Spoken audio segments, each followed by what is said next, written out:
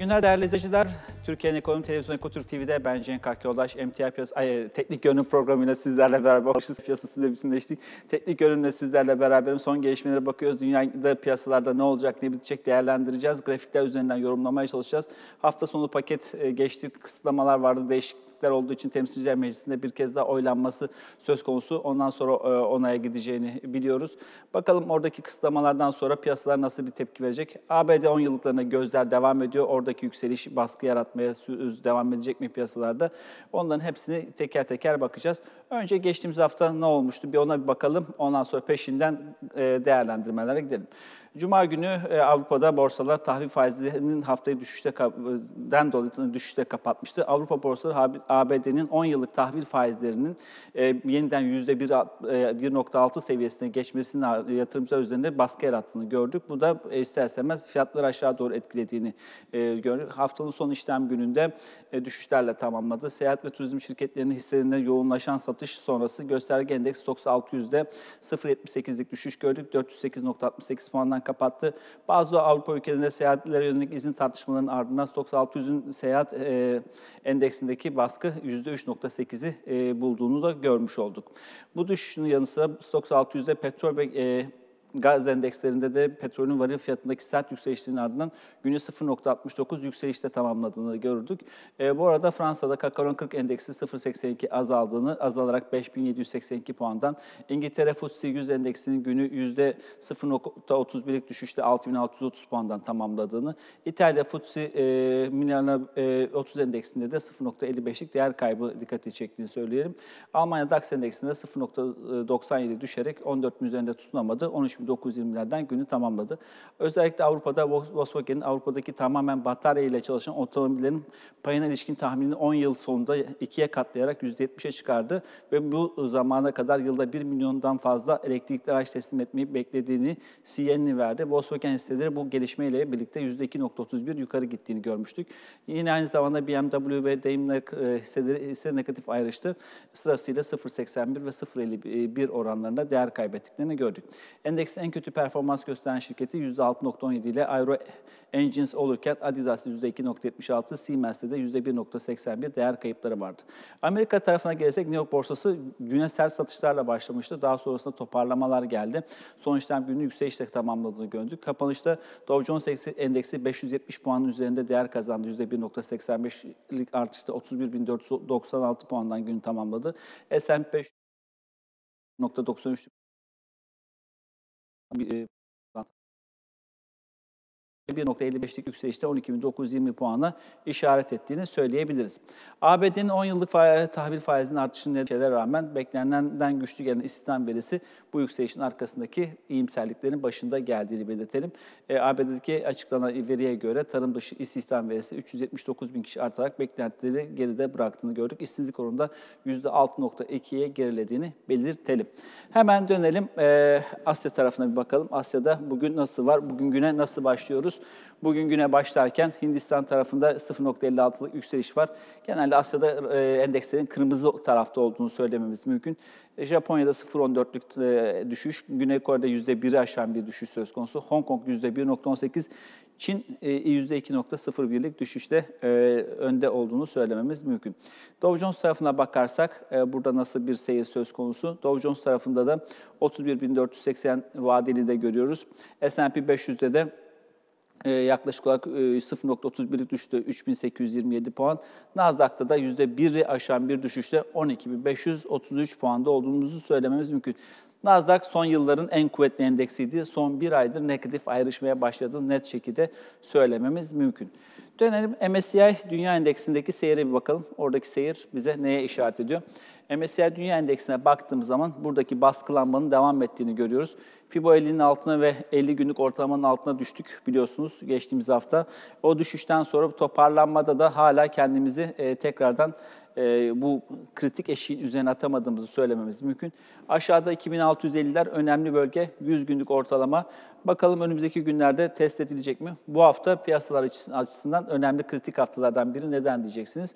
ABD'nin işte geçtiğimiz hafta evvelki hafta gerçekleşen 7 yıllık tahviline gelen olumsuz talebin bakalım bu hafta 10 yıllık ve 30 yıllık tahvillerde nasıl bir etkisi olacağını takip edeceğiz. Yalından ekonomideki iyileşmeden kaynaklanan, enflasyon baskısından kaynaklanan bir yükseliş yok e, açıklaması yine de e, baskı yarattığını net şekilde görüyoruz. Petrol fiyatları dünyada yukarı doğru gidiyor. Bu da ister istemez e, bazı farklı sektörleri de yukarı çekme potansiyeli gösteriyor. Bu da enflasyon etkisi yaratabilir önümüzdeki günlerde. Hemen Asya tarafına geçelim. Japonya'da durum nasıl bir bakalım. Topix'te e, bugün baktığımızda e, yine 0.14'lük bir düşüş söz konusu. Endekse dahil şirketlerden 1036 dengeli bir düşüş var aslında bakarsak. 1036 hisse düşerken 1054 hisse düşmüş. E, 101 hissenin de fiyatın değişmediğini görüyoruz. Güne yükseklerden başlayıp genellikle gün içinde aşağı doğru şu anda en düşük seviyelere yakın seyrettiğimizi söylememiz mümkün. Kuvvetli olan sektörler hangileri? Enerji sektörü 70 dolar aşan bir e, Brent petrolden bahsediyoruz. Brent petroldeki 70 dolarındaki e, fiyatlanma ister istemez e, de yukarı çekti enerji sektörü firmalarının fiyatlarının yukarı gitmesini etkiliyor. Geçtiğimiz sene negatif etkileniyordu bu sektörler. Bu sene daha performansları kuvvetlenmeye başladığını söyleyebiliriz. Öte taraftan e, finans sektörü %1.66, altyapı %1.54 primli olurken kaybettiren tarafta Nasdaq'ın da etkisiyle beraber teknoloji ve sanayi sektörünü görüyoruz. Nasdaq yaklaşık olarak %1, Nasdaq diyorum, e, teknoloji sektörü %1 civarında eksi tarafta olduğunu belirtelim. Nasdaq'ın eksisiyle paralel hareket ettiği için. Dönelim Topix Endeksinin grafiğine bakalım. Burada nasıl bir seyri söz konusu? Ee, geçtiğimiz e, Perşembe, Cuma günkü işlemlerde 50 günlük ortalama iki kez test edildi. Oradan bir tepki verdiğimizi görüyoruz. Tekrardan mevcut kanal hareketinin içine girmeye çalışıyor. Şu bölgede hatırlarsanız böyle bir benzer bir kanal dışına taşma yapmıştık. Tekrardan e, dönmeye çalıştığımızı görüyoruz. İki ortalamanın üzerine çıkmamız e, çıkmaya çalışmamız pozitif gibi algılamak lazım. 1893'teyiz. Bin, o iki ortalamamız nerede? 1904-1903 bölgesinde. O bölgenin üzerine atabilirse, kalıcılık sağlayabilirse o zaman iyimser konuşmaya başlayabiliriz ama o bölgenin altında kaldığımız sürece baskılanma beklenebilir. MSCI Dünya Endeksinde 100 günlük daha potaya girmiş vaziyette. Burada 100 günlük 1807'de olduğunu belirtelim. Aynı zamanda FIBO tarafından da orada olduğunu belirteriz, e, gör, görüyoruz. O zaman eğer 50 günün altında burada bir e, sarkışlar gelmeye başlarsa, 50 günlük bir tur daha gelirsek muhtemel taşımama ihtimali kuvvetli. O zaman 100 günlükler karşımıza çıkacak diğer olarak, yer olarak gözüküyor. Çin tarafına bakalım. Çin oldukça negatif e, olduğunu, ayrıştığını söylememiz mümkün. E, bugün de e, şu anda gördüğümüz kadarıyla aşağı doğru baskılanan bir endekse karşı karşıyayız. Burada bizi dikkatimizi çeken 86 hissenin yukarıda 198 hissenin düşen tarafta olduğunu söyleyebiliriz. 16 hissenin fiyatı değişmemiş vaziyette. Buradaki gelişmeler hakikaten aslında dünyanın lokomotifi Çin biliyorsunuz. Büyüme açısından da e, Türkiye ile beraber bu sene 2020 yılını pozitif tarafta kapatan nadir ülkelerden biri oldu.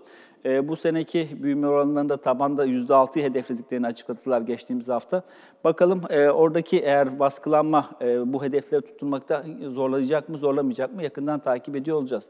Burada da sektörel bazda baktığımızda enerji sektörünün 0.91 ile altyapı sektörünün 0.71 ile yukarıda olduğunu görüyoruz. Kaybettiren taraftaki sektörlere bakarsak eğitim sektörü, sağlık sektörü %5, %4 civarında düşüşler gösterirken dayanıklı tüketim tarafında da %3,5'luk düşüş e, oldukça dikkat çekici boyutta olduğunu görüyoruz. Dönelim e, Şangay'ın grafiğine bakalım. Orada nasıl bir seyir söz konusu. Şangay'ın grafiğine baktığımız zaman e, zayıflığın nereden geldiğini e, diğer piyasaları da aşağı doğru baskılayan hastalardan biri burası gibi gözüküyor. Görüldüğü üzere kırmızıyla gözüken bir ağırlıklı ortalamamız var. Kırmızıyla gözüken ağırlıklı ortalamamız hangisi? 100 günlük ortalama. Şu anda e, diğer endekslerde Topix'te mesela 100 günlükten e, şu anda e, CSI 300'de 100 günlük test edildiğini söyleyebiliriz. Hatta altına da sarktığımızı görüyoruz. 5182'nin altındayız, 5158'deyiz.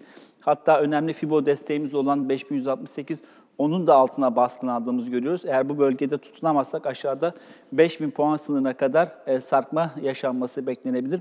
Hızlı bir rally yaşamıştık. Şurada 5000'lerden kopuştan sonra 5850'lerin üzeri 5900'lere kadar giden bir süreç olmuştu. Tekrardan aşağı baskılandığını görüyoruz. E, bu endeksin tabii ki özellikleri yani Çin'in e, Amerika'dan sonra aslında lokomotif olduğunu düşünürsek buradaki düşüşler diğer global piyasalar üzerinde de negatif etkisi olması kaçınılmaz olabilir. Çin tarafından dönelim. Ee, uzak doğuya doğru kayalım. Ee, Hang, e, yine Hang Seng tarafında nasıl bir seyir var? Hang Seng'de de bugün zayıf bir seyirle karşı karşıyayız. %2'yi bulmuştu bir ara. %1.21'leri toparlayan bir süreçle karşı karşıyayız. Endekse dahil 29 hissenin yukarıda, 23 hissenin düşen tarafta olduğunu görüyoruz. Ee, burada yine PetroChina %6 ile en yukarıda. China Petroleum yine %3.8'de. HSBC Holding'in yukarıda olduğunu görüyoruz. Bunlar endeksi yukarı taşımaya çalışsalar da aşağı doğru teknoloji tarafı, tarafı e, sektörü tarafından baskılandığını söylememiz mümkün.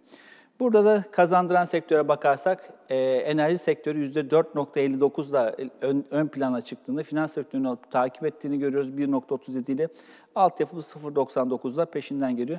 Sağlık sektörü %5'lik düşüşte, tüketim mamulleri sektörü %3, teknolojinin de %3 civarında düşüş tarafında olduğunu görüyoruz. Mutlak değer olarak diğer sektörler burayı aşağı çekmiş vaziyette. Grafik ne der? Burada da grafiğe baktığımız zaman kanalın içindeki alt banda dayandığımızı görüyoruz. Mevcut güzel bir kanal içinde hareket ediyorduk. Bu kanalın alt e, bandına geldik, dayandık. 50 günlük ortalamanın altına sarkmış vaziyetteyiz. E, kanalın dışına e, sarkma çıkma çalışmaları var. Son iki gündür iğne aşağı saplayıp tekrardan yukarı toparlamaya çalışıyoruz. Ama üç önemli ortalama bizim için 8, 21 ve 50 günlük ortalama. Üçünden de altın, üçünün de altında olduğumuzu görüyoruz. Gün içinde 8 günlük ortalama test edildi ama başarılı kalamadık. Amerika'daki Cuma günkü toparlamanın etkisi burada da açılışta etkisini göstermişti ama sonradan peşinden satışlar geldiğini görüyoruz. E, bu bölgedeki baskılanma aşağıda 28-200'lere işaret ediyor. Eğer bu bölgede e, tutunamazsa 28-200'e kadar baskılanması söz konusu olabilir. Ama temel ana destek noktası bence 27 bin bölgesi olduğunu belirtmek isterim. Dönelim bir de e, Kospi tarafına bakalım. Kospi'de nasıl bir seyir var? Kospi'de de aşağı doğru baskılanmanın devam ettiğini görüyoruz. Burada da yapışıklık 50 günlük ortalamaya geldik, yapıştık. Yaklaşık son e, 1, 2, 3, 4, 5, 6, 7, 8, son 8 iş gününün 4'ünde biz 50 günlük ortalamaya her gün temas ettiğimizi görüyoruz. E, bu sefer orayı zorlamaya başladık, altına inmeye başladığımızı görüyoruz. E, 50 günlük ortalama 3001'di, 2997'deyiz. Burada da aşağı doğru baskılanma olabilir. İster istemez Çin piyasasından gelen baskılanma, Hong Kong'dan gelen baskılanma bizde de burada 2937'lere işaret etmeye başlayabilir. Aynı zamanda 100 günlük ortalamanın geçtiği bölgede yeşille gözüken 2835'te olduğunu belirtelim. Yani burada bir e, %5-6 civarında bir aşağı doğru bir potansiyel olabilir. Mavinin altında yani 50 günün altındaki kapanışlar yaşanmaya başlar ise. Avrupa tarafına dönelim. Stoxx 600'de nasıl bir seyri söz konusu? Stoxx 600'e baktığımız zaman e, ortalamaların arasında, fiboların arasında e, tam böyle bir e, belli bir bant arasında sıkışmış vaziyette gözüküyoruz. Yukarıda 413 fibosunu aşamıyoruz. O bölgenin altına indiğimizden beri üzerine denemeler yaptık. İki tur başarılı olamadı. Orası ana direnç konuma geçti 413. Ee, kısa vadede baktığımızda 411'de gözüken bizim için 21 günlük ortalama var. Orası üst sınırmış gibi. Aşağıda da yeşille gözüken ortalamamız 50 günlük ortalama. 21 ve 50'nin arasında sıkışmış bir endekse karşı karşıyayız. Yön belirlemek artık bundan sonraki süreçte bu iki ortalamadan hangisinin üzerinde kalacağımıza bağlı. Üzerinde mi olacağız, altında mı olacağız ona bakacağız. Kritik eşimiz e, burada 406, Stoxx 600 için. 406'nın altındaki kapanışlar bize 402'lere ve 397'lere getirme potansiyeli var. 397 nedir diye sorarsanız o da 100 günlük ortalama. E, burada bir e, potansiyel oluşmaya başlamış gibi gözüküyor 100 günlük ortalamaya doğru. İngiltere tarafına dönelim. İngiltere burada da yatay hareketin devam ettiğini, band hareketin devam ettiğini net şekilde görüyoruz. Şu bandın içine girdik. Aşağıda 6500, yukarıda 6700 sınırı arasına gidip geliyoruz. 6600 orta noktamız bizim. Orta, orta noktanın bir altında bir üstünde, bir altında bir üstünde geçiren bir süreyle karşı karşıyayız. E, Cuma günkü işlemlerde 6630'dan kapattık. 6605, e, 6592 bölgesi önemli destek noktası. O bölgenin altında sarkışlarda geçtiğimiz hafta maviyle gözüken 100 günlük test edilmişti. Oradan bir güç aldığını görmüştük. Ama yine 6755'leri e, aşamayan, oraya kadar bile gidemeyen bir endekse karşı karşıyayız. Burada yatay seyirin devamına işaret edecekmiş gibi gözüküyor. DAX tarafına dönersek, DAX'ta nasıl bir seyirle karşı karşıyayız? DAX tarafına baktığımız zaman burada da bir bant hareketinin devam net şekilde görüyoruz. Şu bant aşağıda 13.589, yukarıda 14.130. Merkez noktası 13.888 olmak üzere bu aralıkta gidip geliyoruz. Ortalamalara baktığımızda 50 ortalama 13.800 hafta bir test ettik. Tekrardan üst banda doğru gittik. 14.130'ları test ettik ama başarılı olamadık. Kalıcılık sağlayamadık. Tekrardan 13.800 desteğine çekildiğini görüyoruz. Burada da e, momentumda bir düşüş var. E, hareket 13.900, 14.130'un üzerinde kalıcılık sağlayamadığı sürece biz burada yatay bant içinde aşağıdaki ortalamaların kendine çekmeye çalıştığı bir süreçle karşı karşıya olabiliriz. Önce 50 e, günlük 13.807'ler, altında da 13.589'da bulunan 100 günlük ortalamanın ile e, Fibo desteğinin olduğu bölge aşağıdaki ana kuvvetli bölgeler olarak karşımıza çıkacaktır. ABD tarafına dönelim. ABD'de nasıl bir tablo ile karşı karşıyayız? Dow Jones'ta Cuma günü çok hızlı bir rally yaşandı. Ee, kötü başlamıştı günü. Gün içinde aşağı seviyeler %1'in üzerinde düşüşlerle başladıktan sonra günü %2'ye yakın toparlamalarla e, kapattığını gördük. Burada da öne çıkan sektöre baktığımızda enerji sektörünün %4 civarında, o da Chevron'dan geliyor 4.31'lik artışla e, kuvvetli bir piyasaya işaret ettiğini gördük. Petrol fiyatlarındaki hareketlenme yine hala yukarı devam ediyor. E, yine bir drone saldırısının olması bugün e, fiyatları biraz daha yukarı doğru tetiklediğini görmekteyiz. Burada da Dow Jones'a dahil hisse senetlerinin 28 tanesinin yukarıda olduğunu, iki tanesini kaybettiren tarafta olduğunu söylememiz mümkün. E, sektörel bazda baktığımızda hiç kaybettiren bir e, senet e, yaşanmıyor, e, pardon sektör görülmüyor. E, düşen tek bir var. E, geçtiğimiz haftaların kuvvetli firması Boeing tarafında. Demin de anlattığım yeniden e, yapılandırma çerçevesi adına e, nakit nakdi vardı ama bir para bulma süreciyle karşı karşıya olduğunu söylememiz mümkün. Onu e, başaramadığı, e, başarıp başaramayacağı belirsizliği, borçlanmaya gitme çabası burada fiyatı baskıladığını söylememiz mümkün. Bugün Dow Jones'un Future'ına bakarsak nasıl bir e, tabloyla karşı karşıyayız onu bir söyleyelim. Pardon, Dow Jones'un Future'ına vadelisine bakarsak burada da işte net şekilde yeşille gözüken ortalama 50 günlük cuma günü test edildiğini altına sarktığımızı görüyoruz. Oradan sert bir toparlanmayla kendisinin iki ortalama olan e, kırmızı ve mavi ile gözüken e, o 21 ve 8 günlük ortalamaların üzerine attığını söyleyelim. Buradan hareket bandın üst seviyesi olan 31.600'e kadar gelip zorladığını söylememiz mümkün. Hareketin momentumunun kuvvetlenmesi, kuvvet, kuvvetlenebilmesi için bizim takip etmemiz gereken seviye vadeli endeks için 31.647. Bu seviyenin üzerindeki rakamlar bize yukarıda 32.293'lere kadar işaret etme potansiyeli olabilir. E, farkındaysanız diğer piyasalarla kıyasladığımızda Amerika'nın daha kuvvetli olduğunu söylememiz mümkün şu anki görünüş itibariyle. Özellikle Dow Jones S&P'den de e, e, da pozitif ayrışma ettiğini net şekilde görüyoruz. Ana desteğimiz kısa vade için baktığımızda 30.812'de bulunan e, aynı zamanda 50 günlükten kaynaklanan destek bölgesi olduğunu hatırlayalım. O bölgenin altı stres dolu bir bölge. O zaman bizi yaşanması durumunda 29.927'lere kadar çekme potansiyeli olabilir. E, S&P 500 tarafına bakalım. S&P'de nasıl bir e, tabloyla karşı karşıyayız? Pardon. S&P 500 tarafına bakarsak burada e, gördüğünüz üzere Dow Jones'a göre biraz daha zayıf bir piyasayla karşı karşıyayız. Dow Jones e, şu bölgelerde seyrederken S&P alt bandın dışına taşmış vaziyette. Aşağıdaki Fibo desteğine kadar çekilmiş vaziyette olduğunu görüyoruz.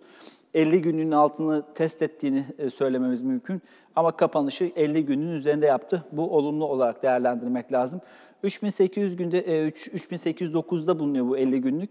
O bölge bizim şimdi kısa vadedeki ana taşıyıcımız. İki kez bu bölgenin altında son e, iki gündür e, test etmiştik. Aşağıda 3725'ler, 3740'lardan ki bulunan Fibo desteğinden destek aldığını söylememiz mümkün. 100 günlüğe de oldukça yakınsadık. 100 günlük nereden geçiyor? 6000 pardon 3698 yani 3700 puan sınırından geçiyor. Oraya kadar geldiğimizi, yakınsadığımızı görüyoruz. Kısa vadede 8 ve 21 günlük ortalamalar sat baskısı üretmiş vaziyette. Endeksin tekrardan kuvvetlenebilmesi, tekrardan bu e, kırmızı alandan dışarı çıkabilmesi için olması gereken ne? 3850 ve üzerinde kapanışlar, 3000 hatta 3860 ve üzerinde kapanışlara ihtiyaç olduğunu belirtelim. Onu başarabildiği takdirde bu stresli bölgeden kurtulmuş olacak. Nasdaq'a bakalım.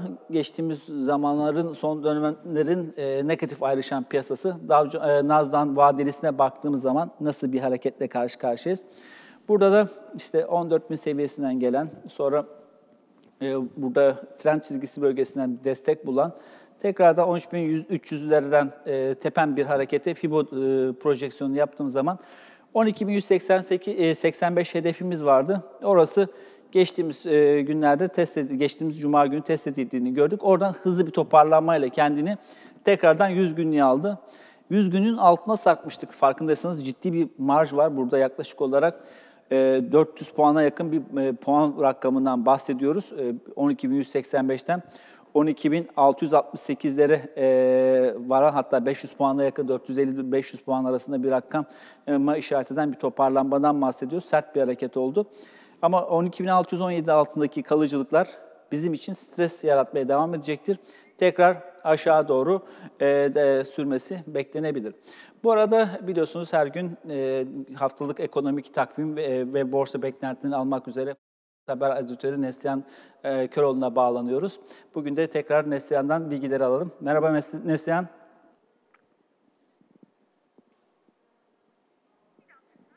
Merhabalar. Neslihan merhaba. Sesim geliyor mu? Evet. Merhabalar. Hayırlı haftalar dileyelim. Öncelikle e, Çalışan Kadınlar Gününüzde kutlu olsun efendim. E, Çok teşekkür ederim. Sağ olun. İyi haftalar. İyi, iyi haftalar. Ne, ne, ne, piyasa nasıl bir beklenti içinde? Sizden anketinizin e, detaylarını alalım.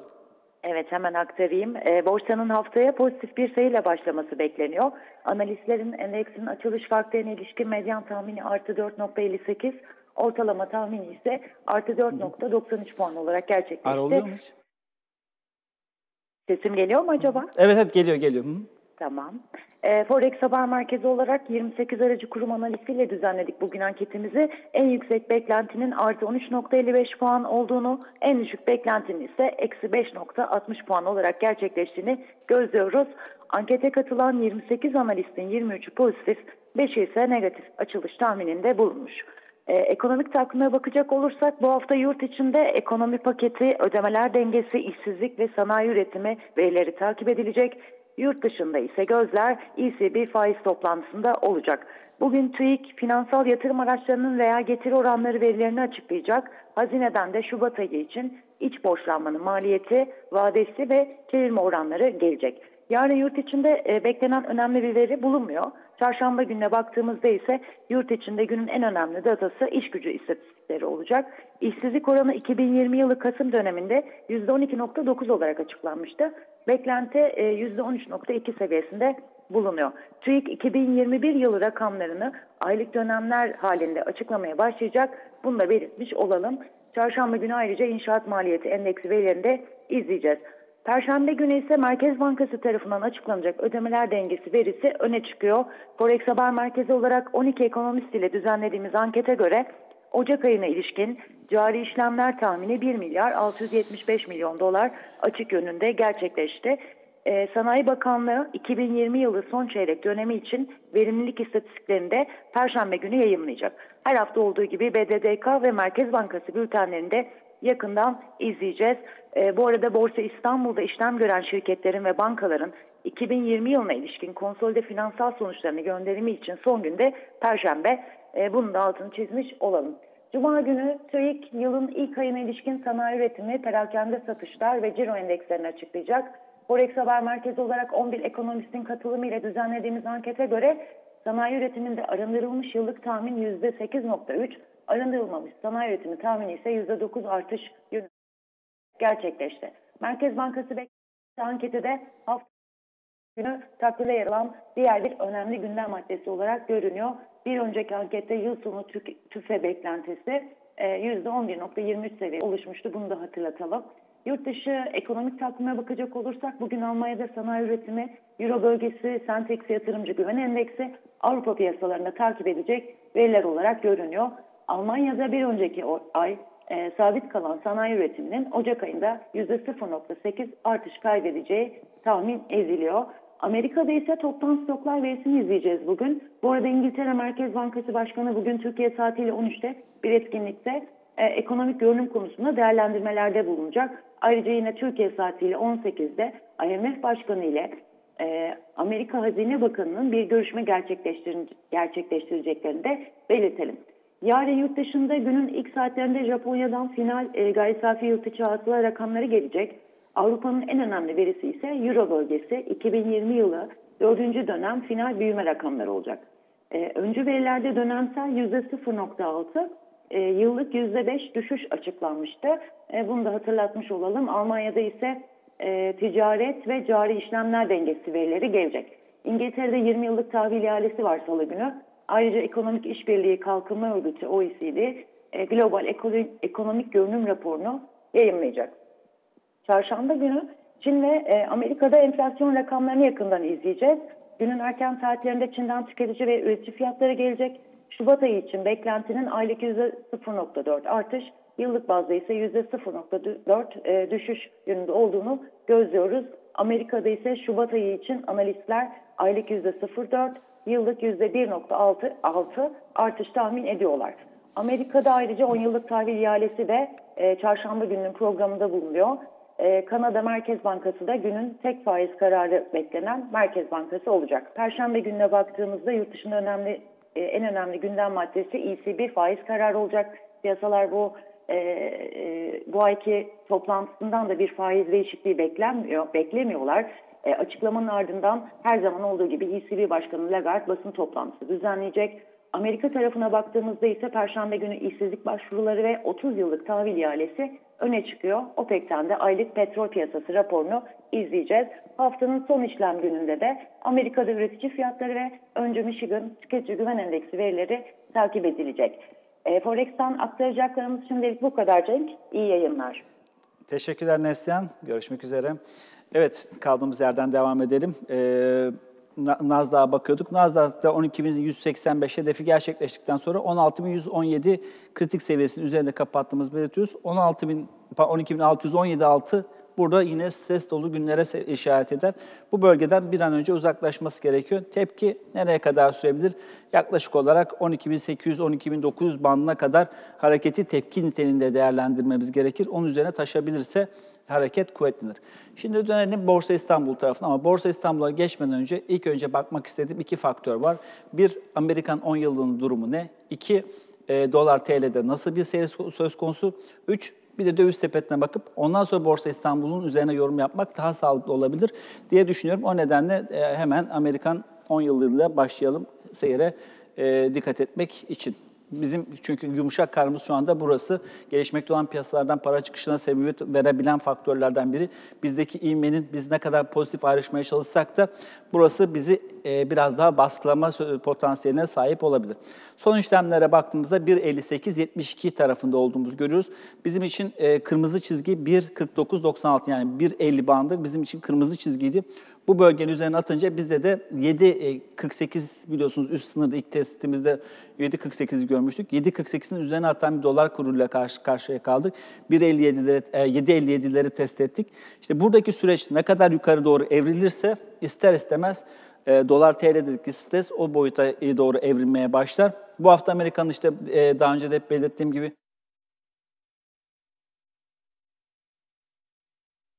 Operation Twist denen beklenti gelecek mi uzun vadeli tahvillerle kısa vadeli tahviller arasındaki bir değişim hareketin ile buradaki hareketin baskılanması, işte tekrardan e, tüketimin artırılması, e, teşvik edilmesi gibi e, gelişmelerin sağlanması, tahvil faizlerinin baskılanması operasyonun olacak mı? Gözler hep Powell'da. Bu da bir nevi aslında piyasa e, eliyle Powell'ın Amerikan e, Merkez Bankası Fed'in e, stres testine, testi, e, testine tabi tutulduğunu gösteriyor. Yukarıda 1.78 hedefimiz var. Eğer bu bölgenin e, üzerinde kalıcı, 1.50 üzerinde kalıcılık sağlarsak ilk hedefimiz 1.58'di. 1.58 gerçekleştiği gibi bunun etrafında tutunmaya başladık. İlk önce bir test ettik, bir aşağı sendik, ikinci tur test ettik. Bugün tekrar üzerinde kalmaya çalışıyor. Bu e, hareketin devam etme potansiyelinin olduğunun göstergesi bizim için. Momentumun hala kuvvetli olduğunu söylememiz mümkün. Yukarıda 1.78-43 eşik değer o bölgeye kadar hareketin devam etme potansiyeli olabilir. E, buradaki bir %10'luk daha hareket bizde Borsa İstanbul, e, pardon, Borsa İstanbul üzerindeki hareketi baskılamaya, dolar TL'de de yukarı doğru 7.70'lere, 7.77'lere doğru hareketin evrilmesine sebebiyet verebilir. O nedenle burayı çok önemsiyorum. Hemen dönelim. E, dolar TL'deki grafiğe bakalım. Dolar TL'nin grafiğine. Dolar TL'nin günlük grafiğine baktığımız zaman e, burada ne demek istediğimi anlayacaksınız daha net. E, buradaki e, ABD 10 yılında deminki grafikte yukarı doğru giden hareketlerle de bu yukarı doğru bir seyri söz konusu. Şu anda e, 7.50'nin üzerine bir kez test etmiştik, altına inmiştik. Tekrar Cuma günü 7.50 üzerinde kapattık. E, bugün de 7.50'nin üzerindeyiz, 7.53'lerdeyiz. Burada kalıcılık başladığı takdirde 107.61 benim senaryoma göre daha önceki yorumlarımda 1.50 e, ABD tahvilinde üst sınır olması, işte o 1.35-1.50 bandında fiyatlama oturmasıyla birlikte bize ani ataklarda 7.60'a kadar hareket olsa da 7.60 hareketin kalıcı olmayacağı 7.50'nin altında tekrardan çekilip 7.35-7.50 bandına bir oturmayla e, karşı karşıya kalacağımız şeklindeydi. Ama buradaki stresin artması ister istemez yukarıda 7.77'yi potaya sokmaya başlıyor. O nedenle hareketlerine dikkat etmek lazım. Oradaki aksiyon ister istemez bizim önümüzdeki haftaki Merkez Bankası toplantısını da e, tetiklemeye, bazı aksiyonlar almaya, itmeye sebebiyet verebilir. Naci Ağbal'ın yapmış olduğu hafta sonraki e, açıklama yazı e, metin geçmişteki yaptığı söylemleri bir kez daha vurgulanmasıydı. Bakalım e, 18'indeki toplantıdan herhangi bir faiz arttırımı kararı gelebilecek mi? E, o bölge e, bizim için stres olabilir. O nedenle Merkez Bankası'nın bir daha bir faiz silahını çekme potansiyeli olabilir. Ee, yakından takip edeceğiz 10 yıllıkları. Benim için şu an için 7.61 kısa dönemdeki zirve hedefimizdi. Ama dediğim gibi orası eder. Eğer 7.78'e gidecekse e, biz pardon 1.78'e gidecekse bizim de kaçınılmaz olarak 7.77'ye gitme potansiyelimiz olabilir. Sepet kurada bir bakalım isterseniz. Sepet kurda nasıl bir pardon Sepet kurda da kuvvetlenen bir e, endeksle karşı karşıya olduğumuzu e, görüyoruz. Yani sepet kura bir endeks, endeks diyorum çünkü bir dolar bir euroyu toplayıp bölüyoruz, bir değer buluyoruz. Bir endekse işaret ediyormuş gibi değerlendirmek lazım. Kısa vadeli değerlere baktığımız zaman ortalamalar 8-21 ve 50 günlük ortalamalar al sinyaller üretmeye başladığını görüyoruz. Kırmızı 100 günlük ortalamaydı. Morla kesişiyor. Mor olan 8 günlük ortalamaydı. E, burada hareketin kuvvetlenmesine ihtiyaç e, tel, e, tetikleyebilir. 8.27 üzerindeki hareketler 8.42'ye hedeflemeye başlar. Dikkat etmek lazım. Aşağıda 8.13 şimdi kısa vadede destek konumuna geçtiğini belirtelim. Dönelim Borsa İstanbul'a. Borsa İstanbul, e, gün sonu Borsa İstanbul'da Cuma günü e, 100 endeksinde 3.94 puanlık artışta 1541 puandan kapattık. İyi bir kapanıştı. E, BIST 100 endeksi günü 400, e, 1533 puandan e, başlamıştı.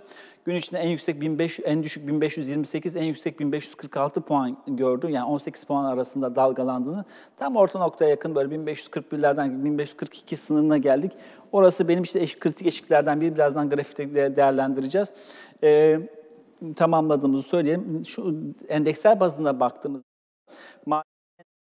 0.08, e, teknoloji endeksinde 0 değer kaybolurken sanayi endeksi 0.25, hizmetler endeksi %0.88 değer kazandığını gördük.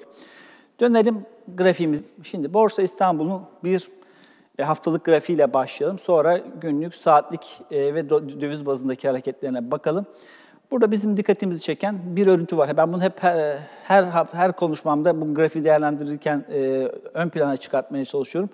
Biz şu bölgeye geldiğimizden itibaren, yılbaşından itibaren bir şu yeşili koyduktan sonra bir yeşil, bir kırmızı, bir yeşil, bir kırmızı, bir yeşil, bir kırmızı, bir yeşil, bir kırmızı, bir yeşil bu haftanın kırmızı olma potansiyeli olabilir. Dikkat etmek lazım. Biz bu yatay banttan çıkışımızı iki tane e, farklı yani iki kez kendini tekrarlayan barla karşılaştığımız yani yeşil. Bu hafta da yeşil oluyorsa o zaman biz düşüş trendini bitirdik. Bu yatay banttan çıkıyoruz deme potansiyelimiz olacak o zaman yukarı. Yok e, biz yine aynı paternde, aynı örüntü içinde gidiyorsak o zaman bu haftanın kırmızı olma e, potansiyeli var. Ne zaman biz anlayacağız ki iki tane kırmızı ya da iki tane yeşili peş peşe görüyoruz. O zaman o yöne doğru trend başladı tekrardan e, deme potansiyelimiz e, mümkün olacak. Bizim için tam e, nereden kapattık? 1541.98'de. Benim için kritik eşik hep belirttim. 1542 eşiğinin tam sınırına kapandığımızı görüyoruz. Yukarıda 1547 var. Burada e, eğer 1547 üzerinde kapanışlar almaya başlarsak haftalık bazda için konuşuyorum. Bunlar günlük değil, haftalık bazda. Kapanış alabilirsek yukarıda 1618 Yukarıda ondan sonra da 1676 hedefleri potaya girmeye başlayacaktır bu formasyon e, projeksiyonu adına. Aşağı doğru hareketlerde baktığımızda önemli desteğimiz ilk kırmızıda gözüken 1523. Onun altında maviyle gözüken 1507 ve onun altında 1487. 1487 bizim kırmızı noktamız. 1487 ve altındaki kapanışlar Borsa İstanbul'da satış baskısını oldukça kuvvetlendirir. Yukarıda 1547 ve üzerindeki kapanışlar pozitif. E, fiyatlanmaların devam etmesi iyiye işaret eder. 1487 altındaki kapanışlarda negatif fiyatlanmanın devam etmesine işaret eder. O zaman da 1431 e, ana desteği ön plana çıkmaya başlayacaktır. Dönelim hemen bunu bir günlük bazda grafik adına e, grafikte bir değerlendirmeye çalışalım. Pardon. Günlük grafiğe bakarsak, şimdi burada da net şekilde aslında e, deminkinden daha net şekilde şöyle bir yatay bant içine girdiğimiz gözüküyor.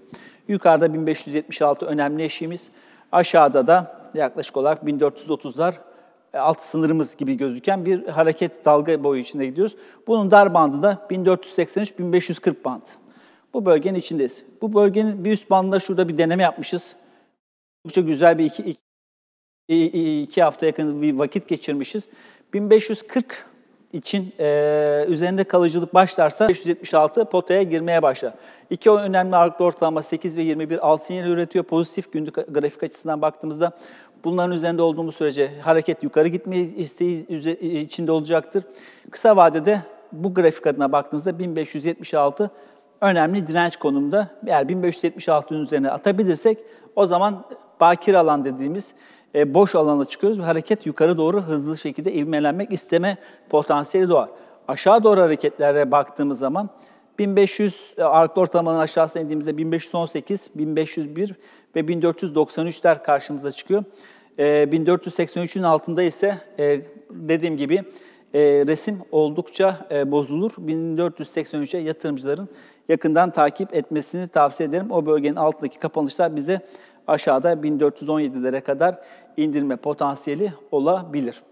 Hemen e, dönelim bir sonraki grafiğimize bakalım.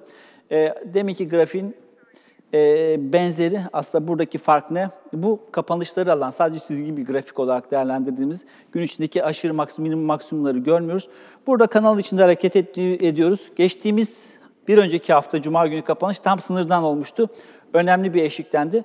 E buradan hızlı bir şekilde toparladığımızı görüyoruz. Özellikle hangi sektörler işte teknoloji e, pardon e, turizm ve e, havacılık ulaştırma sektörü tarafında çok kuvvetli hareketlerle endeksi yukarı taşıdığımızı görüyoruz. E, buradan yukarı doğru harekette 1569'un kritik eşik olduğu görülmekte. Biz ayrılan sürenin sonuna geldik efendim. E, tekrardan görüşmek üzere. Herkese bol kazançlı bir gün dileğiyle.